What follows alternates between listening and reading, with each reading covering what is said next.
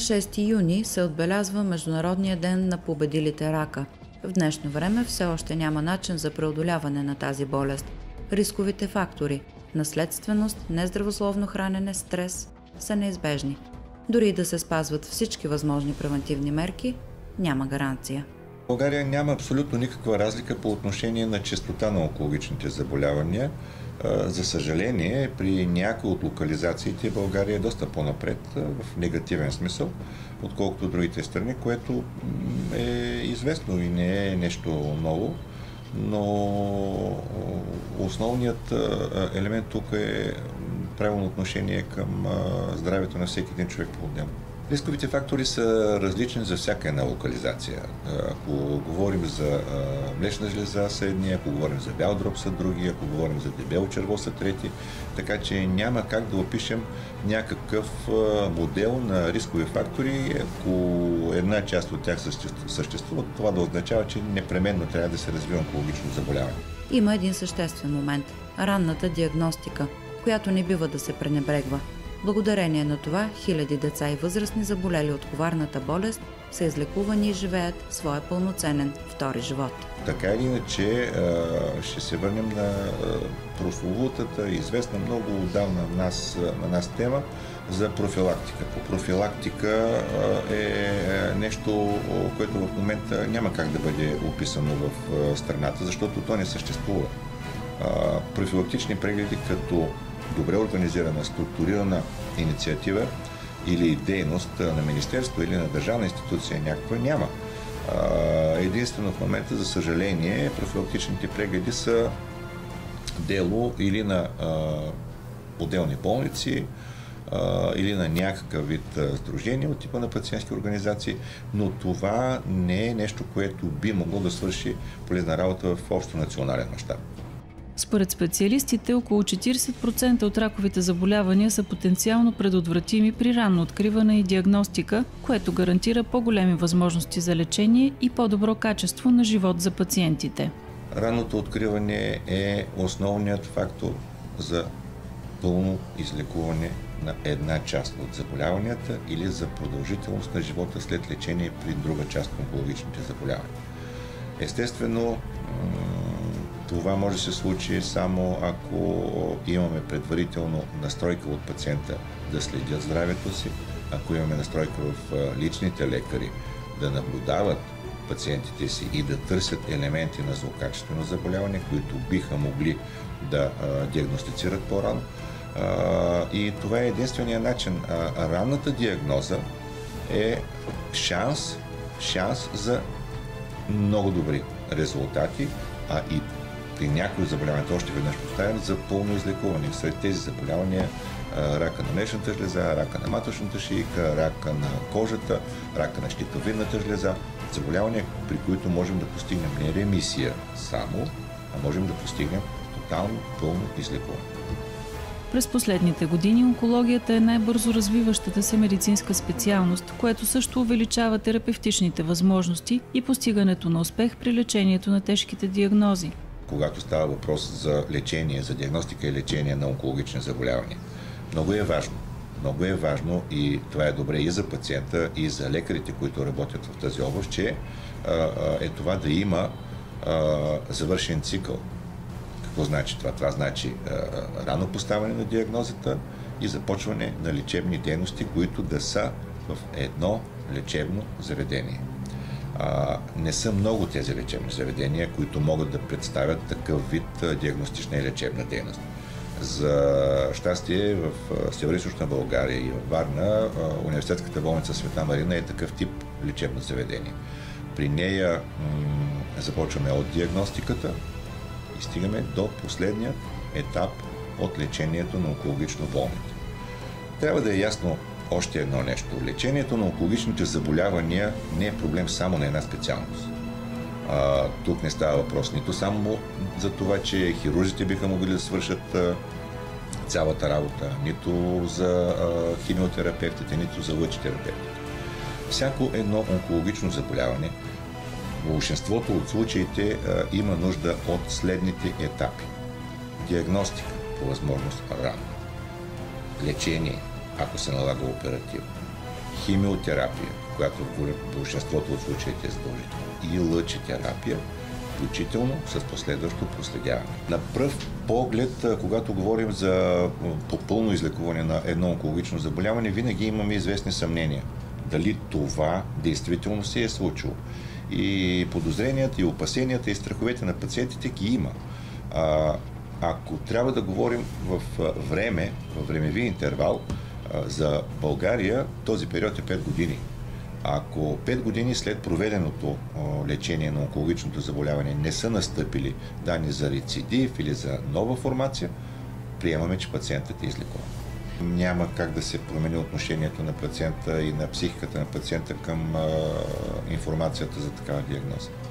Това е като грамотясно небе, не се преодолява лесно, бих казал, почти не се преодолява напълно от пациентите и тук е ролята а, на лекуващите лекари, без значение от коя специалност са, дали са хирурзи, химиотерапевти, лъчетерапевти, а, да играят роля и на, на психотерапевти. Тъй като, за съжаление, а, нямаме такава специалност, която да се занимава след лечебния период на тези болни с тяхното психологично състояние. А е много важно. Много важно е, тъй като това, че един туморен процес вече го няма, че е проведено лечението, че няма данни за рецидив в определен период от време, не приключва лечението. Този пациент а, трябва да се върне отново в нормалната си психологическа среда, което никак, никак не е лесно. Според специалистите, този етап от лечението на пациентите с онкологични заболявания също е много важен и в редица други държави заема водещо място.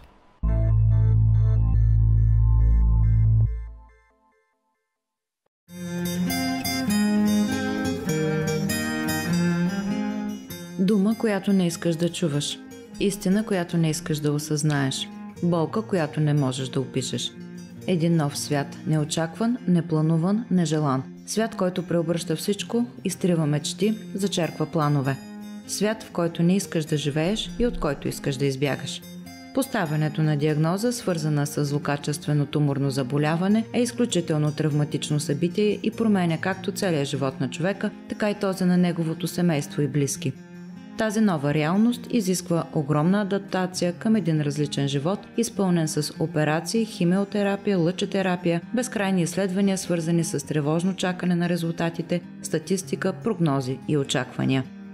Когато фактите са неоспорими, идва време за битка. Голяма битка, в която са нужни много съюзници, защото въргът е силен. Стеляна е героят на нашата телевизионна история. Но тя е герой не само в, в нея.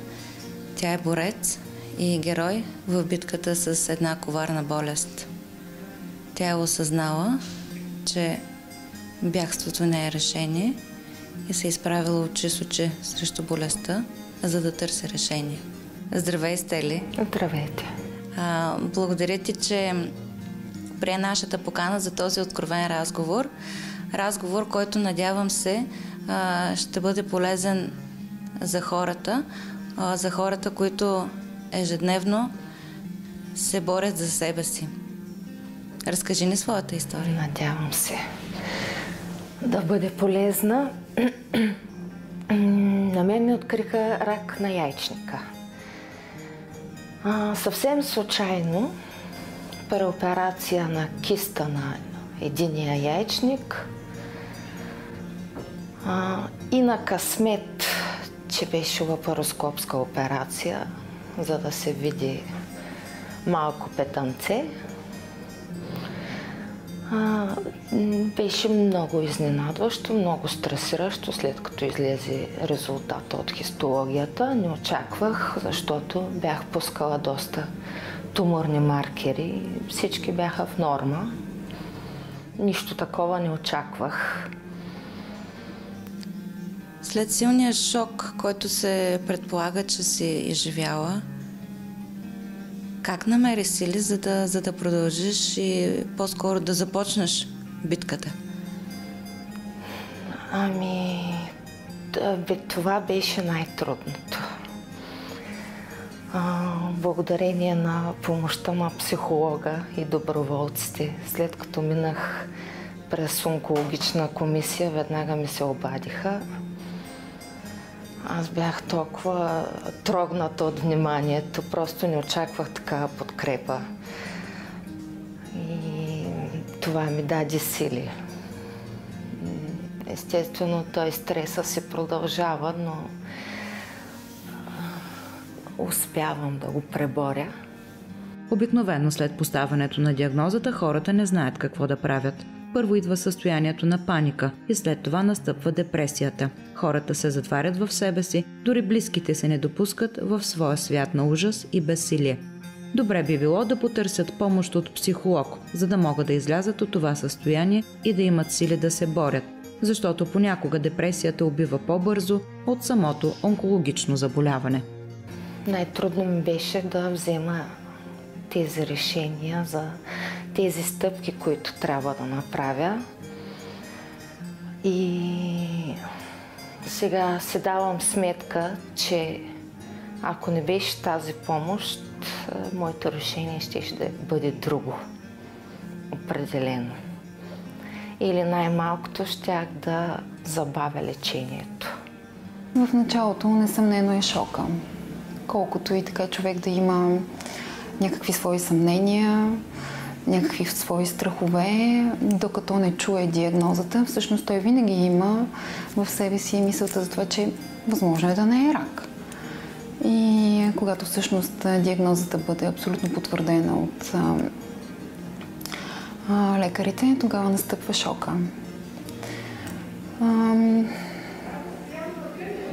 от тук нататък как ще протече за него самия ситуацията с оглед адаптиране към новонастъпилата а, ситуация в живота, защото всъщност това е една човешка криза, една житейска криза. Зависи много от качествата, които човек притежава, зависи много от това дали ще бъде подкрепен, от кого ще бъде подкрепен, как ще бъде подкрепен и а, за да продължи пътя си напред. Но несъмнено първата реакция винаги е шок. Тогава е момента, в, когато, в който пациентите трябва да вземат своето решение а, за лечение. Какво да правят от тук нататък, как да се случи това и обикновено се затрудняват. Близките трябва да са подкрепящи и разбиращи, да го карат да продължи да живее както преди, да си поставя цели и да се бори. В никакъв случай не бива да се отнасят като към непълноценен човек, защото това не е така. Само с пациентите ли работите или и с техни близки? Несъмнено, това, което се случва с пациента, няма как да не оказва своето въздействие и върху близките, в това число и партньора, в това число и децата в семейството. Така че често и те са обект на психотерапевтична работа. Общинската онкоболница във Варна е първата в страната с специализирана програма за психосоциална подкрепа на онкологично болни пациенти. Болницата е пионер у нас в прилагането на световния стандарт за специализирана психологическа помощ и подкрепа на болните от рак. Тя представлява комплекс от мероприятия, свързани с психологията и социалния статус на онкологичните пациенти и техните близки, организирана на научно, институционално и финансово ниво. Тази дефиниция е общоприета още от последната декада на миналия век в Северна Америка и във всички западноевропейски страни.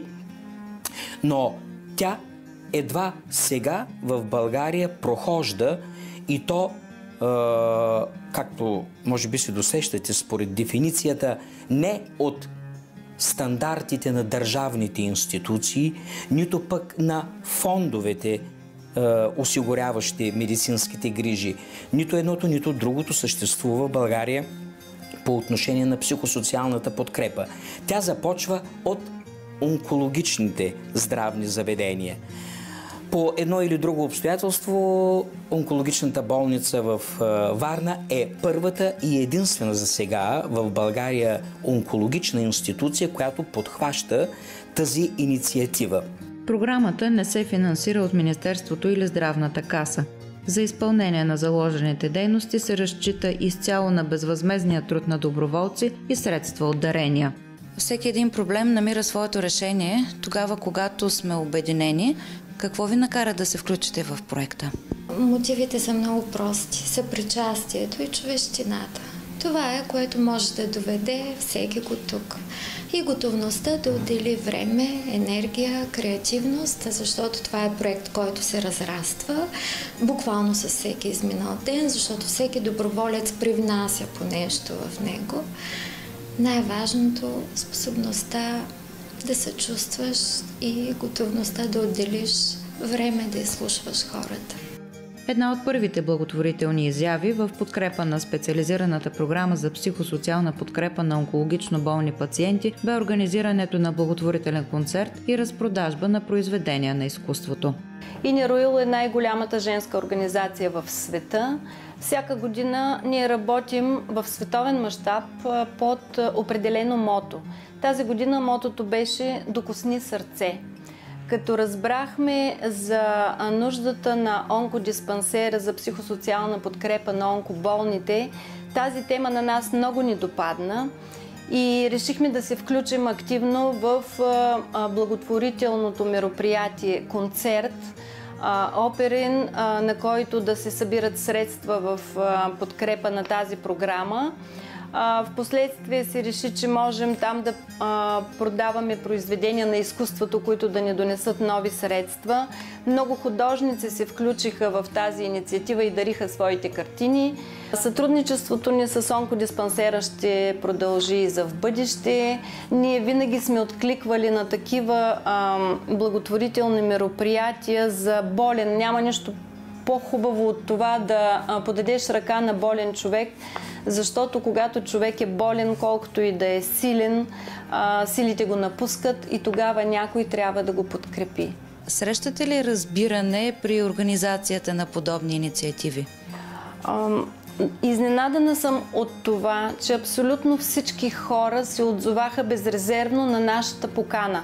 Може би защото всеки има някой близък, роднина, пострадал от онкозаболяване, а, така че не се налагаше да агитираме. Всички, които а, разбраха за нашата инициатива, присъстваха. Дори много хора ми се обадиха в последствие, защо не се обади, защо не каза, искахме да дойдем. Но искам само да кажа, че ще има нови мероприятия, нови концерти, вече ги замисляме, така че всеки ще има възможност да даде своя дан в полза на болния. Разговаряме с доброволците, с пациентите по телефона, разговаряме навън в коридора. Имаме и доста работа, която не се вижда отвън. Занимаваме се с попълването на електронния регистр, грижим се за библиотеката на пациента, която е наша идея. Всъщност, първоначално не съществуваше такъв проект даваме своята дан в благотворителните проекти. Сърцата на хората са огромни. Хората са готови да дадат своята дан за някаква кауза, стига да ги насочиш. Когато им кажеш, ние имаме тази кауза, тази благородна кауза, желаете ли да се включите по какъвто и да е начин в нея и те с готовност откликват. Психологичната помощ може да бъде най-различна в зависимост от подхода на специалиста, който е напълно индивидуален за всеки пациент. Основната цел е да му подпомогнат да преосмисли чутото, да се изправи срещу истината, да я приеме и да придобие силата и коража да се бори. В този смисъл е идеята на скрининг инструмента. Този инструмент всъщност е уникално лесен а, за употреба от пациентите. Това, което на първо място те трябва да отбележате своето ниво на притеснение и тревоги, и тревоги свързани с заболяването. След това, след като попълнят антистрес термометъра, трябва да отбележат в списъка с проблемите да маркират свой проблем, като са посочени няколко такива области. Областта тяло, практически проблеми, семейни проблеми, емоционални проблеми и духовни проблеми, свързани с болестта. В зависимост от това какво пациент е посочил като свой проблем, той идва в кабинета на психолога със своята конкретна заявка. Пациентите като свой проблем посочват тревожността, следвана от умора, нервност, решение за лечение, общуване с децата и проблеми в партньорството. Това са най-често срещаните проблеми, които пациентите посочват като като свои проблеми от списъка за дистрес термометъра. По този начин пациентите се чувстват наистина обгрижени. По този начин, дори само в телефонното обаждане, за пациентите остава идеята, че някой е помислил за мен след като съм си тръгнала от комисията. възможността за това в един по-късен етап, нали, аз да се свържа с психолога и да отида, когато аз имам такава необходимост и ще има кой да ме посрещне. Чувайки диагнозата си, в първия момент пациентите изпитват множество противоречиви чувства. Най-често силна тревога, страх, гняв, които са свързани с мисли за обреченост и безпомощност. Имали ли сте случай в своята практика в ситуация на максимален шок да има отказ от лечение? Не само в моята практика. Това всъщност е било обект на изследвания на колеги онкопсихолози в Западна Европа и в Америка. Всъщност те установяват, че поради силния шок, който преживяват пациентите, много често се случва да не вземат своите адекватни решения за лечение, да отложат лечението си, което може да бъде фатално и това да повлияе на самото лечение, на продължителността на живота, на всичко. И именно заради това е необходим такъв дистрес термометър и такъв скрининг на пациенти. До голяма степен борбата с болестите се състои в психическата устойчивост и психическото противопоставяне на емоциите, които бушуват в пациентите. Колкото и да е трудно, те трябва да се опитат да овладеят неизбежния вулкан от негативни мисли и чувства, който ги залива и да насочат енергията си в битка с болестта. Какво би посъветвала хората с проблеми като твоя? Ами, да не се притесняват да потърсят помощ. Даже няма нужда да я търсят, ще им бъде предложена. А, тук става въпрос а, не за някакво хронично заболяване, с което човек може да се живее, за човешки живот. И всъщност а, помощта на психолога е също спасяване на този човешки живот, така както лекарите правят всичко възможно, дават всичко от, всичко от себе си, така и психолога го прави, защото а, така става а, връзката, всяка стъпка да бъде направена. И когато аз взимам решение, първо, че трябва да го взема много бързо, а, в този силен стрес аз а, просто не мога да мисля адекватно. А, първата реакция да избягаш от проблема. А, и идват всякакви варианти за бягство. Само и само да, да не минеш по тази пътека. А, разговорите с психоложката ми помогнаха да се успокоя, да помисля трезво, и да взема сама своето решение.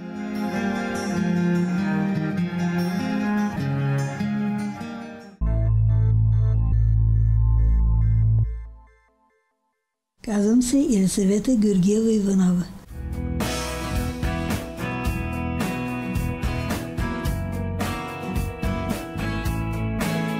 Историята на тази жена може да не се стори уникална за всеки от вас, но тя е забележителна като случай в лекарската практика на хирурзите от първа хирургия в университетската болница Света Марина във Варна. През пролетта на 2015 година 78-годишната Елисавета Иванова се прибира в дома си свободна от ракови клетки. След изненадващата и разтърсваща диагноза рак четвърти стадии на правото черво, след три тежки операции на тумор и метастази в лимфните възли и черния дроб, след тежко и травматично постоперативно лечение, химио и лъчетерапия, Елисавета побеждава рака. Това е една жена, която въпреки неприятната диагноза, която научи, тя не почувства в нито един момент слабост, разочарование, липса на надежда и проведе едно успешно лечение, което беше съставена от няколко различни етапа. Тя премина през всичките. В момента няма данни за ново развитие на раковото заболяване в нейното тяло. Към момента тя се води като свободна от ракови клетки, като стадии, медицински стадии и онкологичен статус. И при нея борбата продължава до достигане на заветната 5 годишна граница, след което ние ще можем да кажем, че тя е здрава. Случаите на заболели от рак пациенти се увеличават непрекъснато през последните години. Според специалистите, вече е крайно време да се заемем сериозно с профилактиката на рак. Много често пациентите задават въпроса как се е появило моето заболяване. Какво съм направил грешно, как съм живял, как съм се хранил. Като всички знаем, че начин на хранене е много важен за отключването и развитието на онкологичните заболявания на гастроинтестиналния тракт. Дълги години са провеждани много проучвания, които да намерят разковничето, да спрат заболяването, да направят така, че много по-малко хора да развиват онкологични заболявания.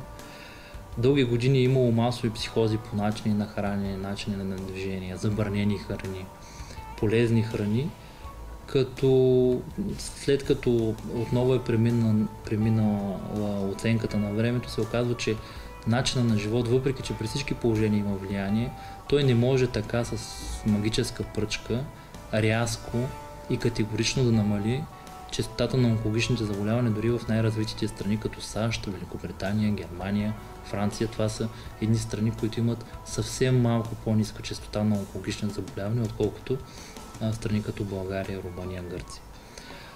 Ето защо в съвременната медицина и в съвременната онкология се заражда едно ново течение, при което асоци... асоциативно, както при малките деца имаме иммунизационен календар. Това е един календар, в който ние знаем на определената възраст на, на детето какви медицински мероприятия, вакцини, прегледи трябва да правим. А, това съвременно течение казва, че за всеки един човек трябва да се създаде един такъв пре-онкологичен, да го наречем, календар, в който той трябва да знае на определена възраст какви а, изследвания на здраво трябва да се направи. Това би гарантирало на голяма част от населението възможността онкологичните а, заболявания не да бъдат спряни, а да бъдат хванати на един много ранен начален етап, при което с много по-малко ресурси, медицински и на обществото, и с много по-малка цена за самите пациенти, използвайки мини-инвазивни, безкръвни техники, тези онкологични заболявания да бъдат излекувани преди да са достигнали етапа, в който могат да дадат разсейки. Това обществото, медицинската гилдия смята, че много по-рязко и категорично би намалило а, ефект върху обществото на тези социално значими заболявания, каквито са всички онкологични заболявания.